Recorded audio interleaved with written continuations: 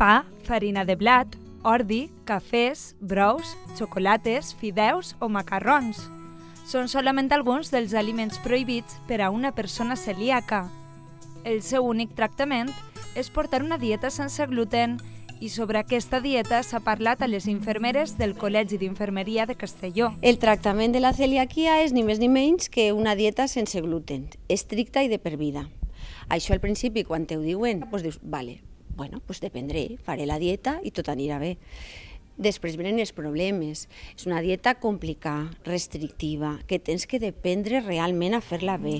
Dins d'esta dieta hi ha productes totalment prohibits, altres que es poden menjar amb precaució, i un tercer llistat de productes sense gluten i que, per tant, es poden menjar. Entre ells, la llet i els derivats, l'arròs, el peix, la carn, les fruites i les verdures. Tot i això, els malalts es troben amb molts problemes. Estem parlant d'entre 3 i 5 voltes, més car els productes bàsics de cereals sense gluten. A banda de que ja és un poc més sabut que el 70% dels productes que encontrem als supermercats tenen gluten amagat en els additius, en els espessants. T'has de fer un poc una maquineta de llegir mm, etiquetes. I per a saber si un producte que es troba al segon llistat du o no gluten, és necessari conèixer el codi usat a Espanya i els segells que garanteixen l'absència de gluten. Tota la resta d'Europa té ajudes al celíac, perquè realment no parlem d'una moda o d'algo que creguem que ens dona benestar. Si no ho fem, tindrem altres malalties greus. Com a professional, és molt important estar format per empoderar el pacient.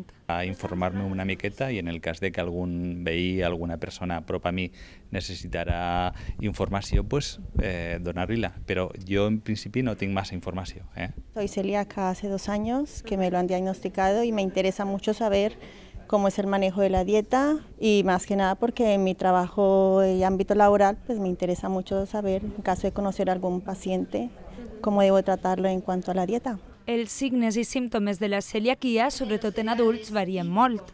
Per això es calcula que tan sols el 20% dels malalts estan diagnosticats.